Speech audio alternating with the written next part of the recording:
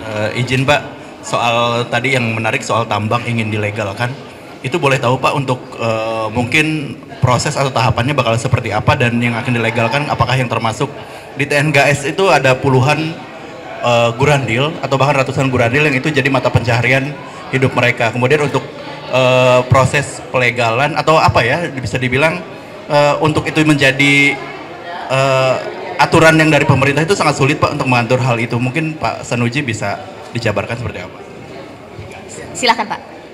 Eh, baik, terima kasih Sanuji Pajar 03.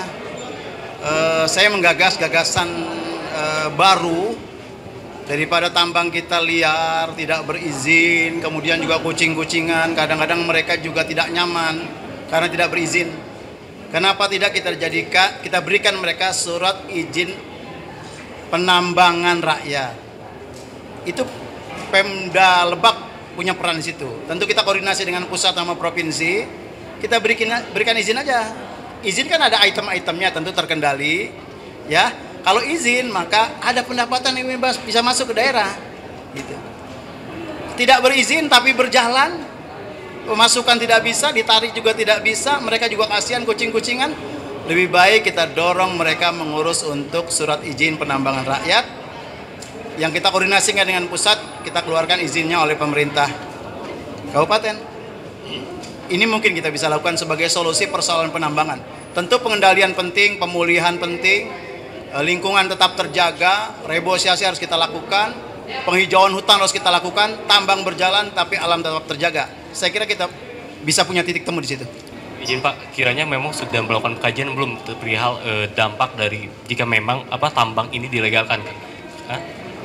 Karena kan pada tahun 2020 lalu itu pernah ada banjir bandang yang eh, menghancurkan ribuan rumah ya, dan itu salah satu penyebabnya adalah pertambangan ilegal Pak. Baik. Eh, baik, tambang tidak hanya emas, tapi juga batu bara, material bangunan, eh, kemudian juga bahan dasar semen, pasir. Saya kira memang kekayaan Kabupaten Lebak itu tambang. Mulai dari emas sampai batu mulia Kalimaya.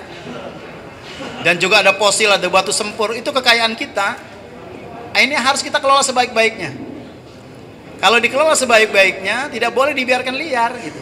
Tetap harus kita kelola, kita atur. Penambang tetap berjalan, mereka hidup, tetapi juga pendapatan daerah masuk dan mereka berizin. Tentu kan tidak semua diizinkan eh, apa namanya dengan mudah gitu ya.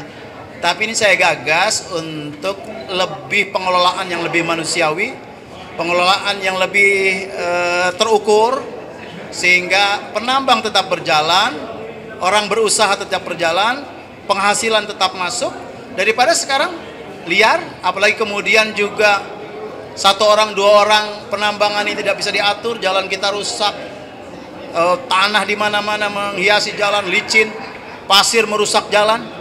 Ini pertambangan ini PR kita. Tetapi bermula dari mana? Dari mana tentu keseimbangan antara penambangan dengan alam. Ini perlu kita lakukan, insya Allah kita lakukan perubahan, nggak ada yang nggak mungkin. Ya, daripada kita biarkan liar, alam rusak, pendapatan juga nggak masuk. Mereka juga dikejar karena kucing-kucingan. Lebih baik kita bicara. Tentu kita bicara bersama. Pemda Lebak, Porkopimda, pemerintah provinsi, pemerintah pusat, kita bicara duduk bersama untuk solusi terbaik bagi pertambangan. Jalan kita tetap bagus, tambang tetap berjalan, pendapatan bisa masuk ke kita, kerusakan alam bisa kita kurangi. Terima kasih.